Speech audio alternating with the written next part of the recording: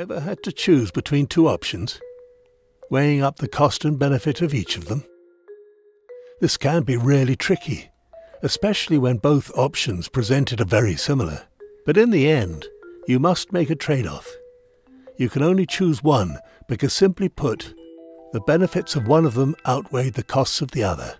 Iguanas are the most wide ranging lizard family in the Western Hemisphere.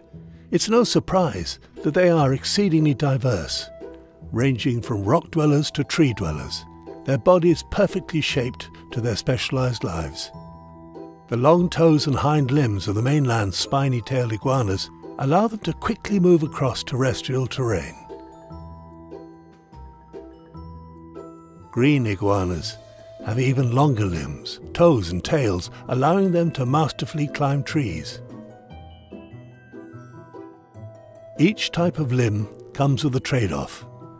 They are either exceptionally fast runners or exceptionally good climbers, but never both. Speed is the difference between life and death.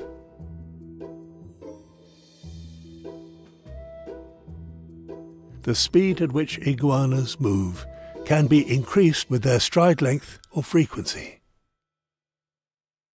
Terrestrial iguanas increase their stride length, whereas arboreal iguanas increase their stride frequency.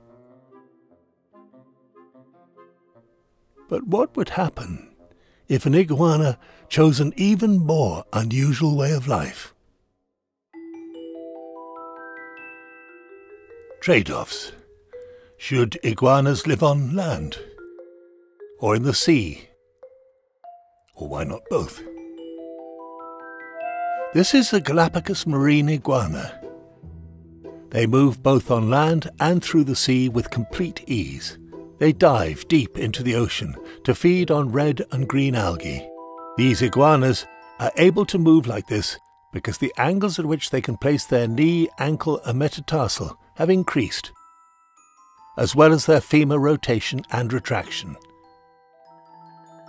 All it really means is that they now take much longer strides with their shorter limbs. These long strides and angular changes cause them to run with an almost upright posture. This allows them to best navigate conflicting rocky and slippery wet surfaces. but they can't run as fast as their ancestors, so this is their trade off. These marine iguanas have wide heads, blunt snouts, and shorter necks, so they are well suited to eating underwater. In general, they are much bigger than their mainland relatives, so they lose less heat when foraging in cold waters. This cold slows their muscles down, so they can't move as quick this is the same for all iguanas. They have to sit still in the sun to warm their bodies back up. This makes them vulnerable to being attacked by predators. In most other environments that iguanas can be found, being slow would reduce their chance of survival. Natural predators would take full advantage of their inability to escape.